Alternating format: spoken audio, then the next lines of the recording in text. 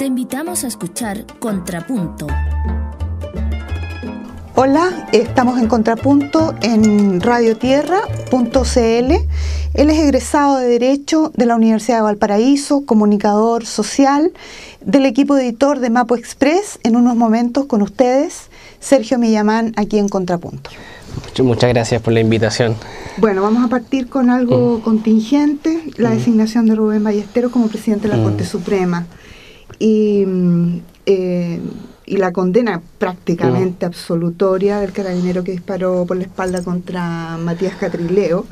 Eh, ambos víctimas de la circunstancia. ¿Qué Eh, dices tú? Es, es un- son, coincidencias que, ocurren, en- son bien interesantes.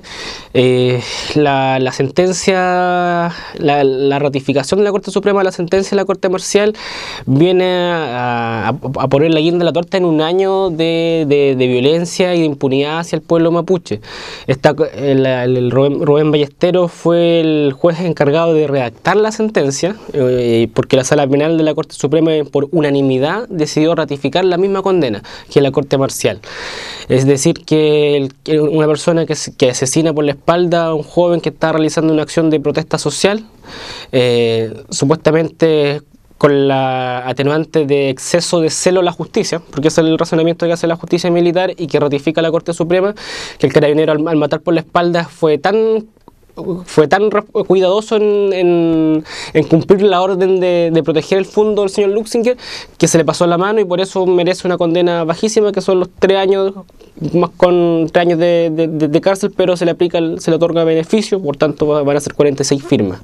Y Carabinero en su momento no dio de baja a, esta, a esta persona Walter Ramírez él está, él est- con, la, con, con la condena, una vez ratificada la condena, él pasa a estar suspendido de ejercer funciones públicas, mientras dura la condena. Y, y el sumario interno de carabineros que salió el 2010 ratificaba que Walter Ramiro como está, hizo, cumplió adecuadamente con su deber, por tanto no sabemos si en tres años más Walter Ramírez podrá volver o no a, a- cumplir funciones en carabineros. Durante todo este año estuvo cumpliendo funciones en Coyhaique. ¿Ya? Pero aquí dos temas, o sea, volviendo con el tema de, de Ballesteros. Ballesteros es un personaje más que se ha caracterizado por, por ser eh, eh, un juez su- que ha, que ha tenido en, ma- en su poder, en, en sus manos, causas de, vinculadas a violaciones de derechos humanos y la opinión de, de las víctimas, de los familiares de, lo- de- de esas víctimas, eh, ha sido que el- la actuación de él eh, no, no ha sido la correcta o ha dejado mucho que desear. Bueno, Es- tiene un currículum entonces, Terrible, ¿no? y con esto se consagra o entra, en el, o entra en el espectro de las violaciones a los derechos del pueblo mapuche. Él, insisto, o sea, él, no- él no es el responsable único, o sea, él junto a otros dos jueces, tres jueces más, más el auditor del, del ejército, ratificaron la condena de, de la corte marcial. Ya, por tanto, yo creo que aquí él es un- él personifica la, la colaboración que tiene el Poder Judicial, la Corte Suprema, la Corte Suprema eh, eh, con las violaciones a los derechos humanos y hacia el pueblo mapuche. Y, quiero, y, y lo quiero vincular a Ballesteros como él, es un personaje que ha, hecho carrera teniendo este tipo de, de actuaciones en el Poder Judicial. Y volviendo al caso de Matías Catrileo, hay otros personajes que hicieron carrera matando mapuche. El señor Bernales, que falleció en un accidente aéreo en- Panamá, él fue el responsable de- del encarcelamiento y la desarticulación de la coordinadora Arauco Mayeco y fue ascendido a general en jefe de carabineros. El general Jenses, que era el, jefe de zona, eh, en la época del año 2008, cuando matan a Matías Catrileo, bueno, él fue ascendido y eh, a- su- subió de grado y hace poco también eh, fue llamado a retiro. O sea, son jinetas. Eh, el, año, el, el año pas- el año 2009 murió Mendoza Collillo también por la espalda acribillado en un montaje. El Cabo Jara se enseñó con, con- con Jaime Mendoza Collillo y el jefe, el encargado, el jefe directo era el actual jefe de la zona, el actual jefe general en jefe de la novena zona, el general Benzamovic, me, me cuesta pronunciar su apellido. Y así, o sea, el que mató a Alex Lemun en la, en la absoluta impunidad por la justicia militar y pasó, y también subió de grado, y se encuentra en servicio activo. Bueno, aquí hay varias cuestiones además que, que han sido eh, condenadas eh, persistentemente Mm. por los de- las defensorías de derechos Mm. humanos. El tema de la justicia militar, Mm. por un lado, ¿no?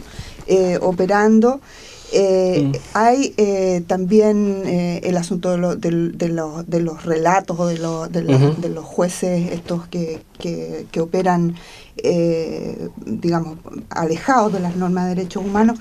Pero junto con eso, tú, a ver, ¿tú cómo evalúas eso en términos generales, el estado Mm. de situación?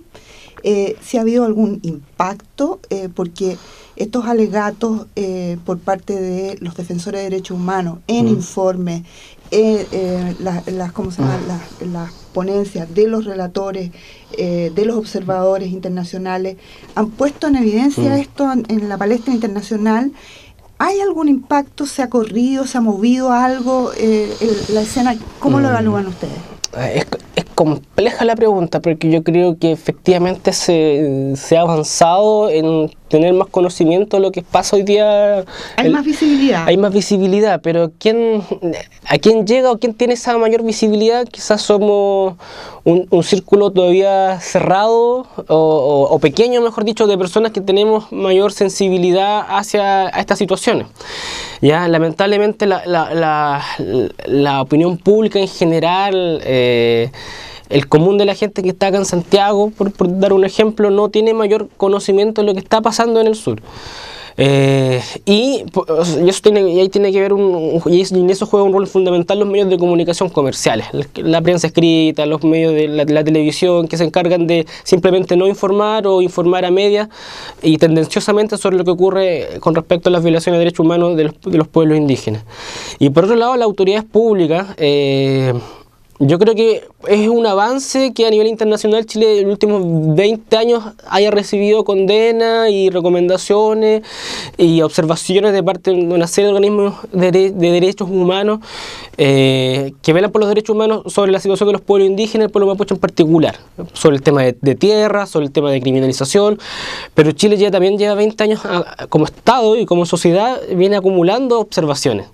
O sea, eh, existe un impacto, efectivamente, es valorable ese esfuerzo, O sea que ya, ya como que produjo inmunidad, digamos, ahí como Ah. pero si, un efecto si no- antibiótico. no- nos ponemos a revisar, tenemos del 2000 hasta la fecha, y quizás los últimos cinco años han habido una serie de informes y condenas al Estado chileno.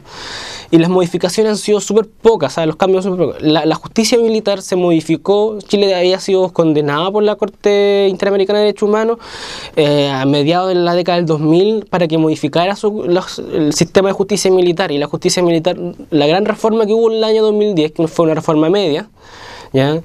que solamente que, que a partir de, de esa, de esa reforma el- el- lo- los civiles que sean acusados de atentar contra militares van a ser condenados por la justicia ordinaria se produjo y se gatilló y se llegó a cabo gracias a la huelga de hambre de los presos políticos mapuches en el año que tuvo 2010 eso una, una intensidad mediática muy fuerte el año 2010, eh, digamos, se percibió por parte, a través de los medios de comunicación, que existe este conflicto mapuche, como le llaman, el Claro. conflicto o el, o el problema mapuche, pero, eh, pero eso bajó de intensidad en, en este año, bajó la intensidad mediática, digo, ¿sí? Eh, algo se corrió en eso. Eh, conocimos la semana tam- eh, pasada también esta disposición de, de la prohibición de uso de bombas lacrimógenas al interior de las comunidades mapuche. ¿Es así? Eh, ¿Cuál es, cuál es la, la verdadera resolución de eso? Yo no, no conozco el fallo, eh, es un recurso de protección que presentaron la- una de las comunidades que han sido afectadas últimamente por allanamiento en la, en la localidad de la zona de Ercilla. Eh, presentaron un recurso de protección que fue acogido por la Corte Suprema, no sabe, por la Corte de Apelaciones de Temuco, no sabemos si va a haber, va a haber una apelación y, y que, y que, esa- que ese recurso llegue a la Corte Suprema y que cambie, la justicia cambie de, de decisión. Porque ahí hu- hubo una presión muy fuerte por parte de las defensorías de los derechos de la, de la infancia y la adolescencia, ¿no? Claro, claro, porque el, el argumento ahí es que el carabinero en, en el ejercicio de su, en el cumplimiento de las órdenes que le da el Ministerio Público de investigar, eh, órdenes que están bastante reñidas con la ley, eh, hacen un exceso abusivo de la fuerza y de elementos disuasivos como son las bombas lacrimógenas. O sea, llegar a una casa tirando bombas lacrimógenas no tiene... Antes de decir buenas tardes. o sea, claro, o sea, no tiene mayor sentido. O sea, uno, por los que sa- saben de, de, de marcha acá en Santiago, las bombas lacrimógenas tienen como objetivo disuadir multitudes. Acá en, en una casa, cuando la gente está toda durmiendo, llenar de perdigones y, y de bombas lacrimógenas no, no tiene otro, más, otro sentido más que a- agredir y derechamente torturar, porque eso es tortura. Eso no tiene otro nombre que no sea tortura. Yo creo que ese, ese recurso es, una buena señal, pero conectándolo con lo otro, o sea, yo no, a lo que voy que no, no, creo que, o sea, hay un impacto gracias a muchas gestiones de defensores de derechos humanos, de las mismas organizaciones y comunidades mapuches afectadas que se han encargado de impulsar y denunciar esto, eh, de hacerlo visible. Eh, Aquí hay colaboraciones de muchos sectores, pero todavía falta. Yo creo que ese recurso es, un, buen avance, pero mientras no se prohíban las bombas lacrimógenas, mientras no se eh, castigue seriamente la, brutalidad policial en contra de no solamente el pueblo mapuche, sino de todos aquellos que ejercen un legítimo derecho que a, protestar y a reclamar. Y mientras no se resuelva el, tema de fondo, que, es el, tema de tierra, la autodeterminación del pueblo mapuche, la defensa de su territorio, eh, eh, todas estas gestiones no van a tener un, efecto mayor o prolongado en el tiempo.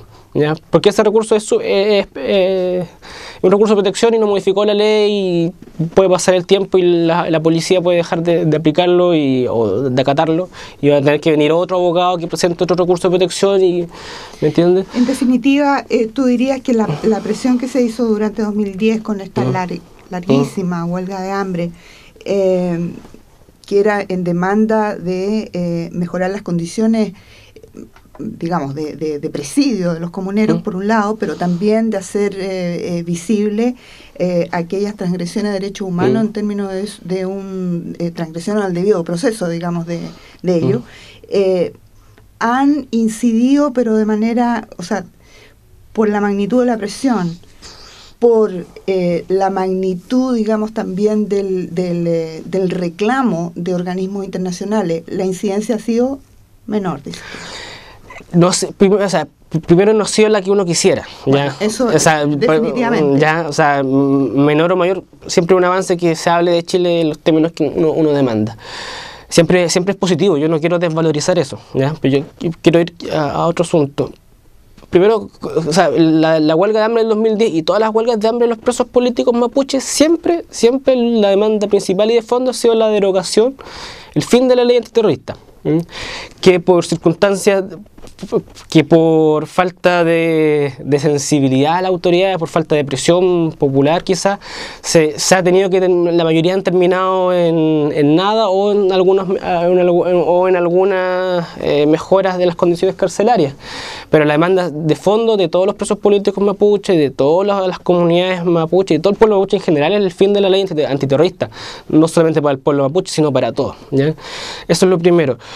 Yo creo que va a haber mayor incidencia y, yo hablo en, términos críticos, eh, no, no pesimista, pero soy crítico de, todo lo que se ha hecho con el fin de, dejar sentado que falta mucho por hacer y, eso mucho por hacer eh, depende primero de, nosotros como mapuches de seguir trabajando, organizándonos y, levantando nuestras demandas y también de muchos otros sectores de, la, de la sociedad, de la humanidad, que son afectados de la misma forma que el pueblo mapuche, del despojo de sus recursos, del despojo de sus medios de subsistencia, de la criminalización de su protesta social. Entonces yo lo personal creo que eh, se va a avanzar más en la medida que exista, sigamos trabajando y si exista mayor eh, conciencia de todos los sectores, que el, que el tema del pueblo mapuche no es un tema exclusivo del pueblo mapuche. Bueno, vamos a eso entonces.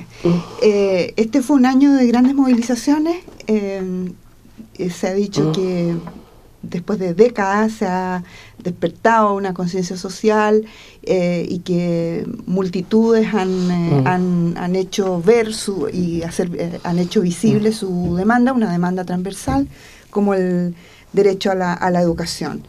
hay una federación de estudiantes mapuche. Eh, con representación en Confech, que tuvo una, una vocería también muy importante, un, eh, José Ancalao se llama el eh, ¿Se ha logrado, en tu opinión, articular agenda en el sentido que estábamos conversando o que tú expusiste recién?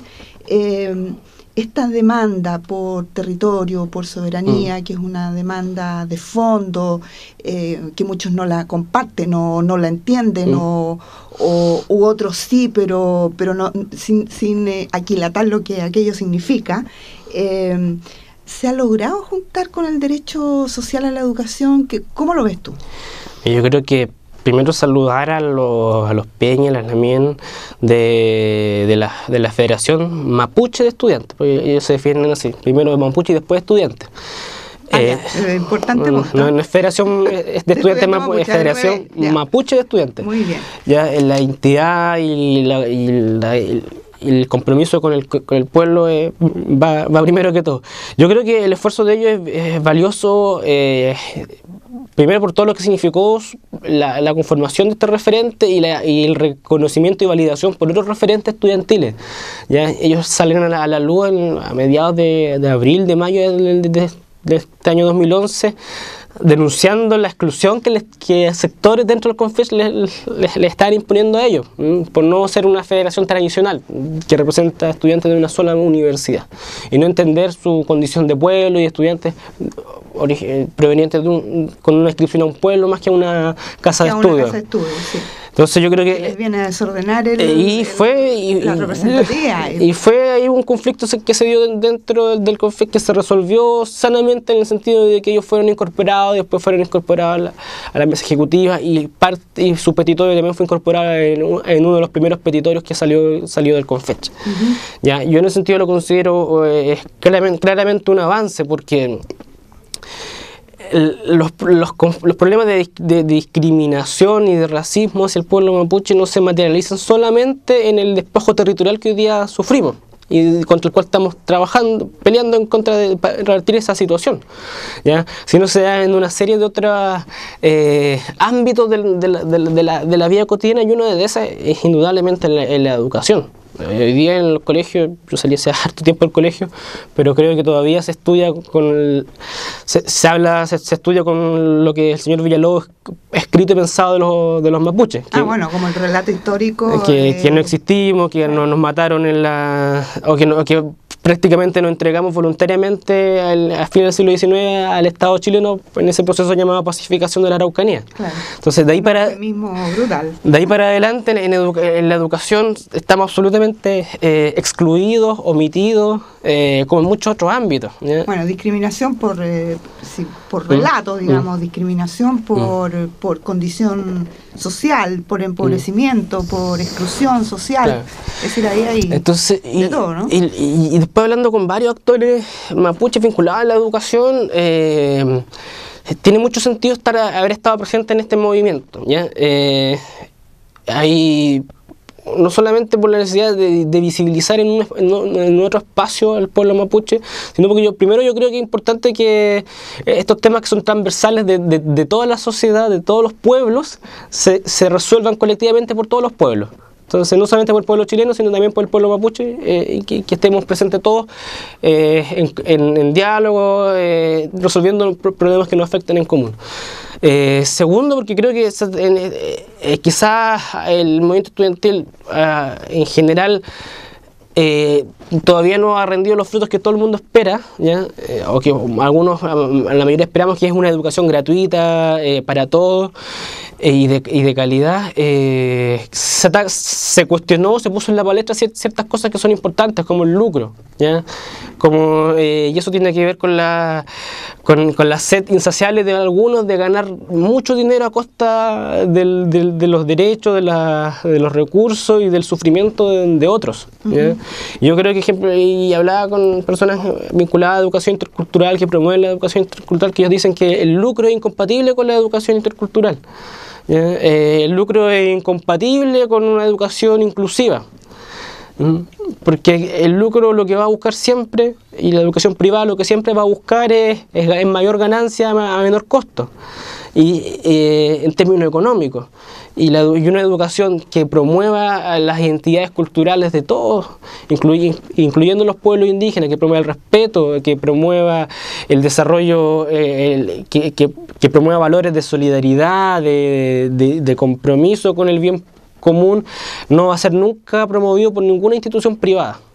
Tiene que ser por algo por una institución pública donde haya democracia, donde haya participación de, de todos los, los, actores involucrados en ese, mundo. Yo creo que ahí, si, queremos hacer una educación pensada, eh, que tenga, que tenga eh, no solamente nominalmente a los pueblos indígenas, al pueblo mapuche, sino que en forma efectiva real, que esté pensada para el pueblo mapuche, que esté pensada en diálogo con el pueblo mapuche, tiene que ser una educación sin lucro.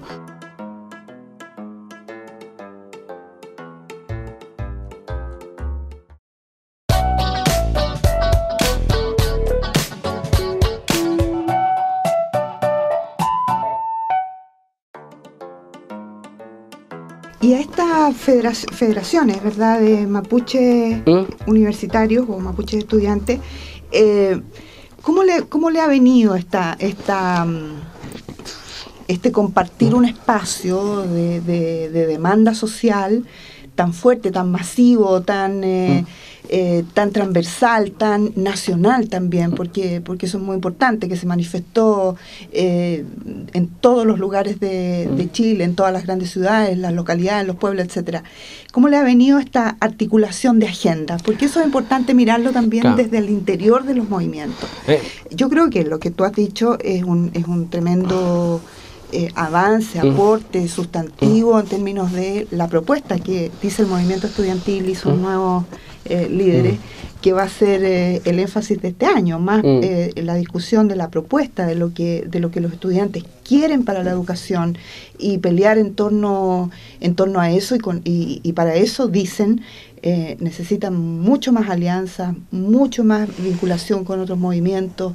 En fin, mm. ¿cómo ves tú, cómo, cómo le ha caído a los propios eh, mapuches estudiantes? mira, primero aclarar para que no haya malentendido, yo no soy parte de la Federación Mapuche Estudiantes, ¿cómo lo has visto tú, pero y como comunicador social mapuche, puedo, eh, reviso y tengo mis mi, opiniones personales. Yo creo que mi opinión eh, yo no sabría quizás hablar de cómo han sido las dinámicas internas de ellos eh, y cómo ha crecido eso, pero mi, mi opinión es que creo que la participación de ellos y el movimiento social en general ha, tenido un gran avance, un gran despertar con el movimiento estudiantil. Que yo creo que el movimiento estudiantil vino a, a reforzar, y, lo hablé también en su momento con algunos dirigentes, autoridades tradicionales de algunas comunidades, eh, que el movimiento estudiantil chileno venía a dar un respiro y un aliento a, las demandas del pueblo mapuche.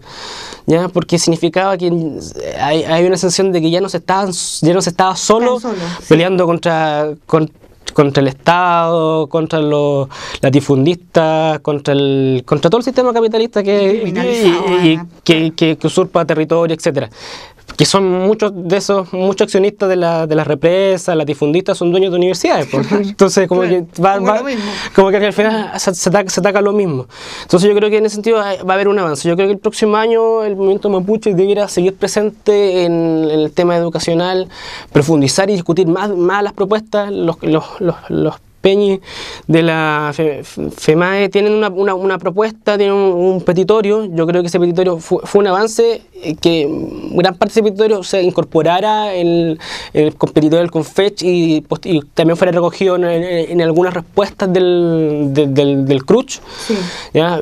Pero también, o sea, eh, o sea, hay, hay cosas que, que es importante que, ejemplo, autoridades como los, el Consejo Rectores la haya acogido, ¿ya? pero también el Consejo Rectores bien fue bien, yo lo considero que fue bien patudo en, en, acoger sin ningún mea culpa algunas demandas del, de, los estudiantes mapuche. ¿En, qué sentido? Porque hacían, hacían eco de que las universidades tuvieran mayor protagonismo en la, investigación de, sobre temas con pueblo indígena, que promovieran cátedras sobre pueblo indígena, eh, pero primero no, no, se comprometían a que esas propuestas las levantaran en consulta con los pueblos indígenas. ¿ya? O sea, eso es lo primero. O sea, el compromiso acá es que... O sea, produce el conocimiento. Y, que sea... y la consulta y el consentimiento de los pueblos indígenas es un, deber que tiene, que, tiene el Estado y todas las autoridades públicas. Y ya, ya sea, no, o sea, no basta en temas de, de políticas públicas a pueblos indígenas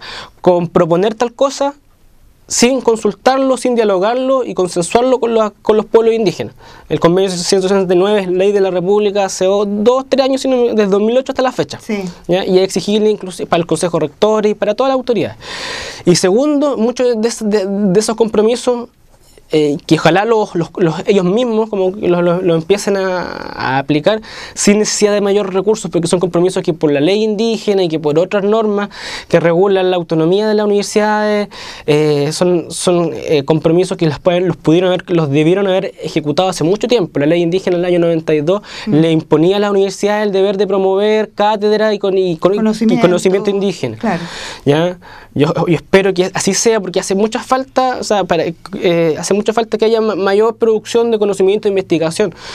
Hoy día no hay un catastro, el Estado chileno no tiene un catastro de, no ha hecho el, el catastro de cuántas tierras efectivamente son las que tendría que restituir. Eh, no hay un catastro eh, y es una, una, una labor que podría hacer efectivamente en las universidades. Ya, pero insisto, o sea, toda esta producción de conocimiento tiene que ser en consulta con las comunidades indígenas, puede ser impuesta desde la academia. ¿ya? porque si no se, Hay mucho... se, reproduce el sentido vertical y, mm. vamos a contar un cuento, mm. vamos a tener un relato mm. quizá un poco más avanzado, pero es un relato externo también al final, ¿no? ¿Cuántas universidades han, quizás con, con, con, recursos han mantenido silencio o han hecho meras eh, investigaciones sobre los procesos de criminalización y no han hecho mayores gestiones teniendo quizás las condiciones, los cuerpos académicos, etcétera, con respecto al tema de criminalización, de usurpación. entonces yo creo que hay mucho... Hay un campo ahí de, hay mucho que hacer. trabajo. Te quería llevar, a propósito de esto mismo, eh, al tema de las estrategias estas de, de, fundar medios que han sido, ¿Mm? que han tenido una visibilidad importante en el ¿Mm? último tiempo. Digo, portales ¿Mm? digitales como Mapo Express, como Askintue, otros, diarios impresos, bueno, las radios comunitarias que tienen eh, más larga, más, más larga data. Eh, ¿Qué proyección le ves tú? Eh, primero, evaluar su impacto. Yo creo que eh, es, notorio, digamos, que se ha ido contribuyendo a romper eh, el, cerco comunicacional eh, en términos de proveer más acceso a información plural disponible para, para, el conjunto, para los medios tradicionales también, pero para, para la ciudadanía en general. pero la pregunta es, ¿qué proyección le ves tú a, esta, a, esta tendencia de fundación y de hoy día consolidación de, de medios eh, en articulación con una demanda mayor de libertad de expresión, de derecho a la comunicación. ¿Cómo, lo, cómo lo ves tú desde Mapo Express o desde otras iniciativas? Mapo Express es una iniciativa que está en, la, en, internet www.mapoexpress.net hace 11 años, vamos a hacer los 12 años y hay otras iniciativas como Astensue que tienen casi la misma edad que nosotros, hay otras iniciativas de comunicadores acá en Santiago como el programa Huichayanay que lleva 20 años. Sí, en la Radio Tierra. en Radio Tierra. Entonces yo creo que esos ejercicios responden... Hay un acumulado, ¿no? Hay una, responden primero a, algo que, el resto de los, que otros movimientos sociales también han, consideran que es una realidad que, hasta el momento ha sido inamovible, que los medios de comunicación comerciales que solamente eh, no nos cubren, nos tergiversan y solamente hacen comunicación con fines de lucro y no con fines de, comunicar, de informar ya no cumplen con ese deber. Entonces, ante esa, esa realidad, los, los, pueblos, el pueblo mapuche, a través de algunos eh, de, algunos actores que estamos dentro del, movimiento mapuche, eh, estamos, hemos desarrollado algunas iniciativas comunicacionales como Mapuspre y, y, otras más. Yo creo que eso y nacemos como una necesidad como una necesidad de difundir lo que nos está pasando y lo que y que otros hermanos mapuches sepan lo que nos está pasando, que otros hermanos indígenas sepan lo que nos está pasando y que todos los otros pueblos y que la sociedad chilena también sepan lo que nos está pasando, porque lo que nos pasa a nosotros lo hacen a nombre de Chile, lo hacen lo hacen con recursos públicos chilenos, a los carabineros, el carabinero que mató a Matías Carrillo lo paga, su, sueldo lo ha pagado y lo, seguirá pagando el Estado chileno. Entonces, y él cree en su cabecita que lo hizo lo hizo por su país y que estaba cumpliendo, haciendo lo mejor por, por su gente. Entonces yo creo que es importante que esas cosas se denuncien para que tomemos conciencia y que esas cosas de alguna u otra forma eh, todos eh, actuemos. Entonces nacemos ante esa necesidad. Yo creo que en el transcurso de los años de este ejercicio comunicativo hemos tomado mayor conciencia de de, tomar en serio la comunicación mm, como un derecho, como una posibilidad, como un, derecho y un deber. Un deber de, mantenernos informados y de transmitir información a todos, ¿ya? porque todos tienen que estar informados, no solamente los que quieren, ¿ya? Eh, eh, y, un derecho porque mm, eh, hasta debemos ejercerlo y el Estado y la sociedad en general tienen un deber de respetar ese derecho. Yo creo que los medios, gracias a, este trabajo de, medios mapuche y gracias al trabajo de articulación con otros medios no mapuche, hemos logrado amplificar nuestro mensaje, hacer más visible nuestra, nuestra realidad. medios populares, medios comunitarios, alternativos, eh, nos han permitido llegar más lejos de, de nuestras posibilidades y eso se agradece y, en conjunto creo que tenemos eh, esa misión de trabajar por un ejercicio efectivo y, real del derecho a la comunicación para todos, ya que el derecho que la comunicación sea un, un, derecho y una herramienta al servicio de, de, de, la, de, la, de, la, de, de los, los cambios profundos que la sociedad y el mundo en general requieren. y no una, una mera un mero mecanismo de obtener ganancias por publicidad, como, como, hoy, día, como hoy, día, son los medios. Entonces yo creo que por lo menos en Mapos Pre estamos, en, estamos en, esa, en, esa, en, esa, en esa lucha, estamos tratando de articularnos con diferentes actores para generar discusión y trabajo en torno a la, a la comunicación y, y a su ejercicio democrático. ¿Ya? Hace poco, con ustedes también, con, las, aquí con las compañeras de, Radio Tierra, hemos estado atentos a lo que estaba pasando con una radio allá en el Lanco, la Quinche Mapo. La Quinche Mapo, exacto. Se aplicó el artículo 36 de A. Y por, por afortunadamente el fiscal está con mucha pega y dijo que iba a aplicar el principio de oportunidad y no va a, a seguir persiguiéndolas penalmente por ejercer su derecho a, a, transmitir libre, a transmitir a, comunicar a través de su radio por el momento, justamente. Y hay un desafío, pues ahí está hay un artículo que penaliza con, cárcel y con decomiso de, los medios, que cuesta tanto conjuntar las radios, los transmisores, los equipos, eh, que está vigente hace 20 años. La concertación fue la que aplicó, eh, creo, creo, creo ese articulado y no hemos sido capaces de, de derogarlo. ¿ya? Yo creo que ahí el desafío es no solamente derogar ese artículo, ¿ya? porque hay gente que ha propuesto que cambiemos la, sanción penal por una sanción administrativa. ¿ya? Yo creo que el tema de la sanción no corresponde a una discusión que vendrá después. Lo primero es la distribución democrática del espacio radioeléctrico, que efectivamente los que tenemos derecho a comunicación, que son los trabajadores, los estudiantes, los pueblos indígenas, mujeres, minorías sexuales, todos en seamos los primeros en tener acceso a la comunicación y después yo, yo, yo, también pongo en duda si será necesario entregar espacio a los mismos que lucran para que sigan ocupando el espacio radioeléctrico que es un bien público, que no pagan nada prácticamente por, por utilizarlo. Entonces yo creo que eh, yo planteo eso porque es uno de los tantos desafíos que tenemos en comunicación. Ya la comunicación eh, genera mucho impacto. O sea, que hoy día en Santiago piensan que hay gente común y corriente, muy buena, de muy buen corazón seguramente, pero que piensan que los mapuches nosotros estamos puro leseando, que, queremos tierras para no trabajarlas, es producto, por un lado, de la educación que se nos entrega, que, que, reproduce esos prejuicios.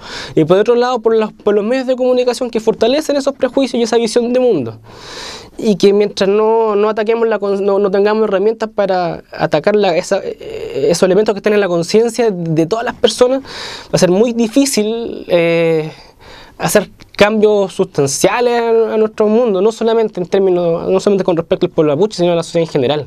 Sergio, bueno, eh, yo sé que la cosmovisión mm. mapuche mm. tiene ciclos mm. anuales distintos, ¿no?